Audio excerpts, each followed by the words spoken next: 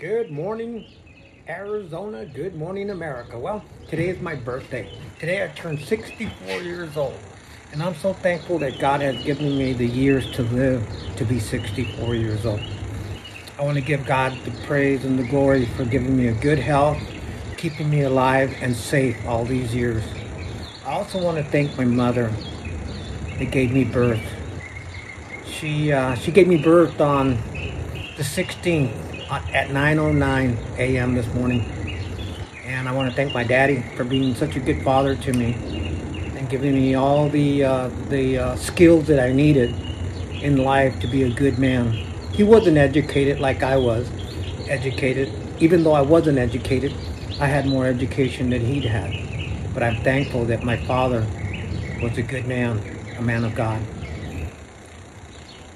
Well, a year ago I was robbed.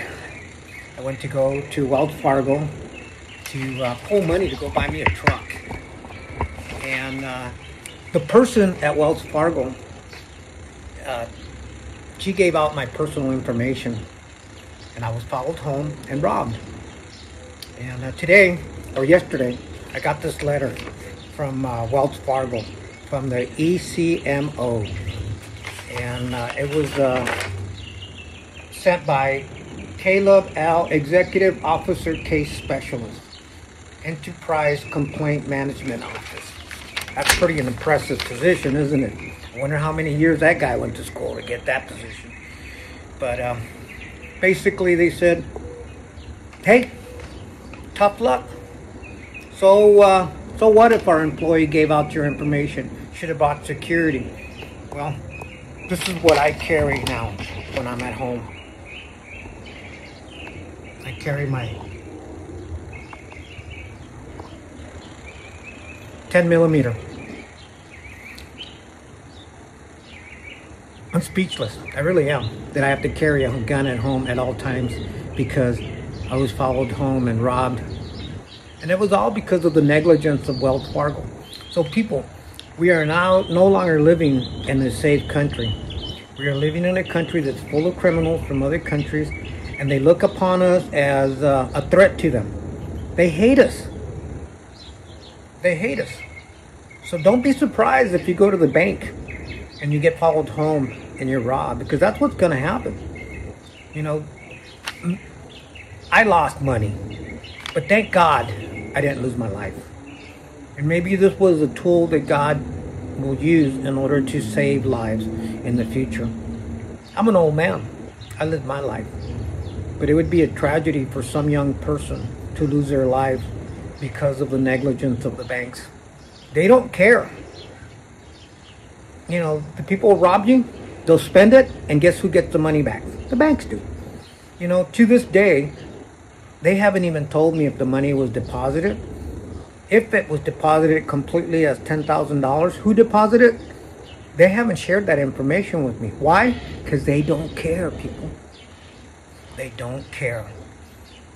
So, uh, you know, I have to do business with the bank, but it's going to be very limited. I've been spreading the word to all my relatives and friends what happened to me. And you know what? It, the company is going to end up losing more than I will because it's going to get out to the public, and the public's going to lose complete trust in an institution that's supposed to protect us protect our money. With all the modern technology, the serial numbers that these bills have, they would be able to track that money in a heartbeat if they really wanted to. But they don't. They don't want to. It's a waste of resources on their end. So, uh, don't be surprised if you start seeing burglaries throughout this great nation increase. Don't be surprised if you start seeing old ladies assaulted their purses ripped off. Don't be surprised if you start seeing women raped at an incredible number. Why? Because we have individuals that are predators from other countries that are going to look at our women and they're going to they're going to want something from them. And it's not going to be a pretty sight. And we don't have we have a country that our leadership don't care about us. They're more concerned about protecting the uh, the identities of these illegal criminals over protecting our identity. These are our elected officials. Let that sink in. You know, like I said, I'm an old man. I'm thankful that God gave me the years to live. Maybe this had to happen in order for me to uh, expose the evil that's taking, ravaging our, our nation. And like I said, it's my birthday today and I'm happy.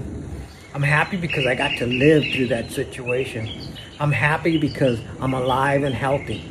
I'm happy because I have a family that's healthy. I'm happy because I have friends, true friends, that love me.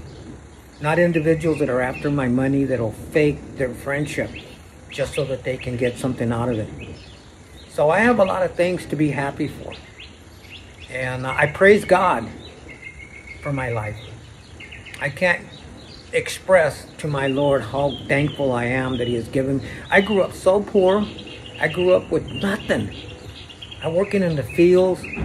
I remember going into Cesar Chavez's house as a little boy, and I was having a dream about him. Him and my father having a conversation at a corner of his old house in the projects in Central Phoenix, and they were discussing the issues that we were having as a society a Mexican Indian society, working in the fields. I remember the uh, crop dusting airplanes that would drop poison over us as we were working. I didn't know what it was. I was a child. But now that I'm an old man, I can I can't understand how these individuals knew that they were dropping poison, DDT and all. My dad died of cancer because he worked in this field most of his life. And I can, I, I would have to say that the poison that they dropped on us was part of that reason why he developed cancer. But one day we will all stand in the presence of God, and one day we will all answer for our sins. And all I can say to my Lord is, Have mercy on me, Lord. I'm a sinful man. I try to do the best things in life for my family and to please my Lord and Savior and I failed him every day. But I'm so thankful that he is a loving God and that his grace will, will overshadow my shortcoming. And for that reason, I will continue to praise him until I give my last breath on this earth. People, wake up. America is under attack. America is in dire strait. We will be defeated from within if we don't put our foot down and start demanding our government to start standing up for the American people. It's our choice. We can be nonchalant and not expect and demand them to do the right thing. Or we can just look the other way and roll over and die. The choice is ours. Every generation has had to make a tough call it wasn't easy for the people in 1776. It wasn't easy for the people in, in the Civil War. It wasn't easy the, for the people in World War One, World War Two, the Korean War, the Vietnam War, the Afghanistan War. And it's not going to be easy for us now that we're being attacked from within. God bless America and thank you for watching my video. And once again, I want to thank my Lord and Savior for giving me the years, the health, and my beautiful family. Praise God.